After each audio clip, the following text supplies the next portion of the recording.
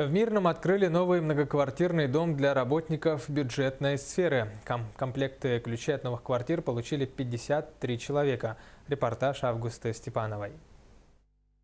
Привлекательная архитектура, удобное расположение рядом с зеленой зоной. Открытие дома для работников бюджетной сферы – событие долгожданное. Новоселы до сих пор не верят своему счастью. Я 20 лет уже работаю в образовании, и после общежития в такую замечательную квартиру, конечно, здорово. Программа по строительству льготных домов заработала в прошлом году. Такой подход помогает не только решить жилищные проблемы, но и привлечь востребованных специалистов. На это из бюджета района выделили 180 миллионов рублей. Знаменательное событие. А, Впервые за почти 25-летнюю историю органов местного самоуправления столица Алмазного края построен и сегодня будет сдан в эксплуатацию первый дом, построенный за счет средств муниципального бюджета муниципального образования Мирнинский район по районной инвестиционной программе.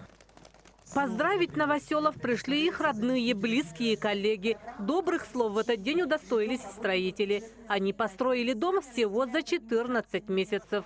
И вот она, символическая красная лента. Под аплодисменты будущих соседей один за другим представители семей получают долгожданные ключи. Татьяна Мозговая новой квартире очень рада. Ждала этого момента 27 лет.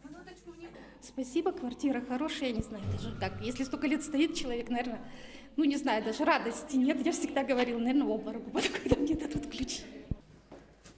В новых квартирах созданы все условия. Отделка под ключ, прихожая, ванная, туалет и просторная комната с выходом на большой балкон. Мечтала о собственной квартире и Евгения Слободенюк. Не скрывает радости. Теперь она хозяйка собственной жилплощади, да еще и в новом доме. один из самых ярчайших, счастливых дней, наверное, в этом году.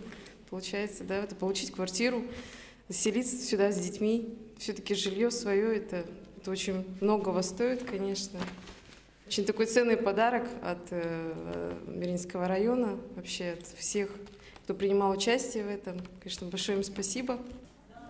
Вручение ключей от новых квартир становится доброй традицией. По соседству с новостройкой скоро начнется возведение еще одного специализированного дома для учителей. Августа Степанова, Роман Ларин, телеканал «Алмазный край».